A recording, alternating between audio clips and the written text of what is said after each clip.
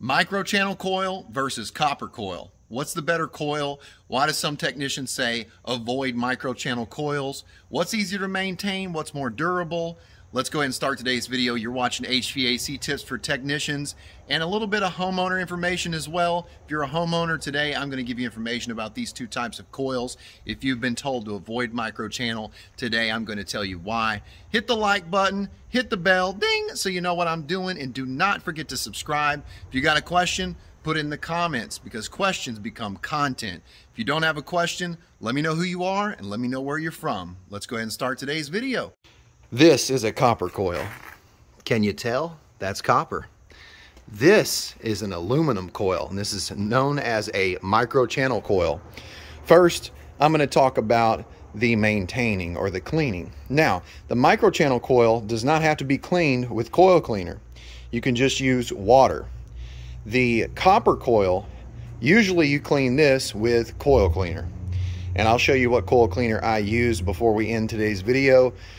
But maintaining this coil, in my opinion, gets dirtier a lot quicker than this coil.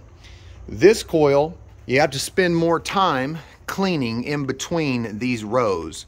There are about 10 to 15 tubes in each one of these and they run this way, okay?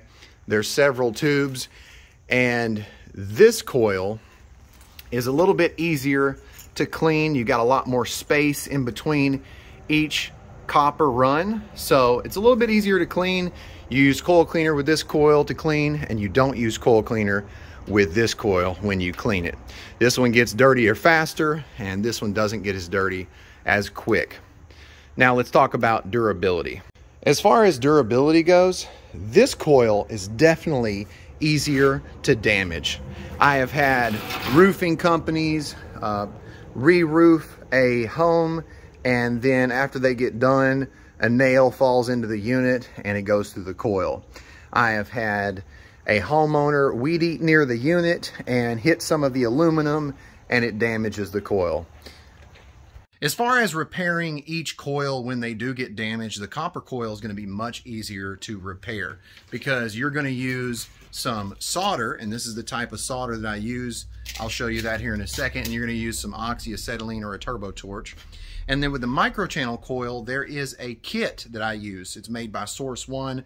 It comes with some filler metal, a little steel brush, and some instructions. I'll post a link in the description for a couple videos if you want to see me repairing a microchannel coil. I've got a couple videos where I actually had to repair a couple microchannel coils, and it was successful. And sometimes I temporarily fix the coil, especially if, if it's under warranty, and then I get the new coil in and go ahead and replace it.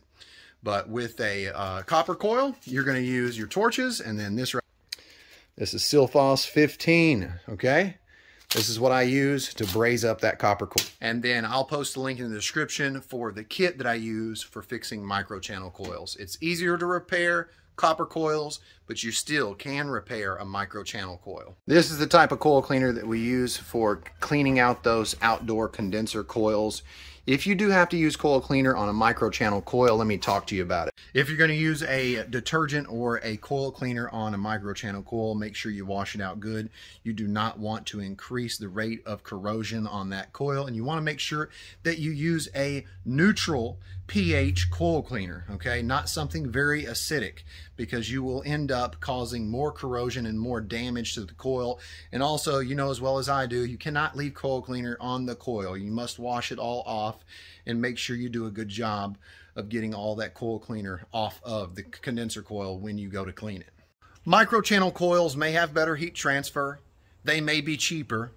They do hold less refrigerant charge, so it doesn't take as much refrigerant charge but they are easily damaged. And when you have technicians who are not experienced enough to fix a leak that happens in a microchannel coil, then you may be out of air for a little bit longer than if you would have had a leak in a copper coil because most technicians they can fix a copper coil but they might not be able to fix a microchannel coil. I strongly suggest that you're if you're an HVAC technician watching this video and you don't have experience fixing a microchannel coil, go down in the link in the description, click on those two videos, one of those two or watch both and get some more experience and learn about the kit that you can use and then look at the process that it takes to fix that type of coil. Also, you may be able to use a turbo torch to fix a leak in a copper coil, but you will most definitely have to use either a MAPP gas torch or maybe oxyacetylene torch because you will not need a big flame to fix that leak in the microchannel coil. This is the type of set that I use to repair the microchannel coil right here, oxyacetylene. And to wrap up this video, I want to tell you that if you're purchasing a new unit, I wouldn't be scared of the microchannel coils. I would just make sure that you have a good contractor and you have a good maintenance plan. If you're an HVAC homeowner watching this, make sure that you get your unit serviced and cleaned at least once a year so that you make sure that there's not a lot of dirt and debris and dust inside that microchannel coil because it takes a lot less dirt inside of a microchannel coil to make that head pressure rise than it does a copper coil and you want to make sure that you stay on top of the maintenance. Want to also mention that it is easier to overcharge a microchannel coil as well. So make sure that you know that, my fellow technicians.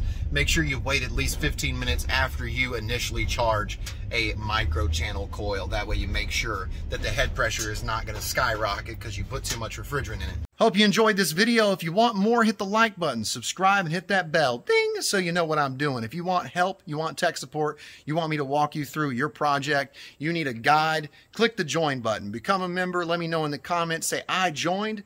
I'll give you my email. That'll lead to contact with me. You need my phone number. You need FaceTime. You need me to consult for you, help you design your ductwork, help you with your mini split, whatever the needs are. Just join become a member, and let me know what you need, and I'm here to help.